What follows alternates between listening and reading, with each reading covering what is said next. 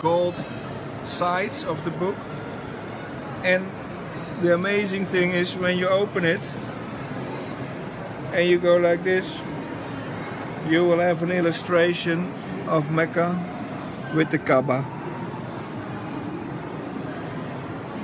So it's an original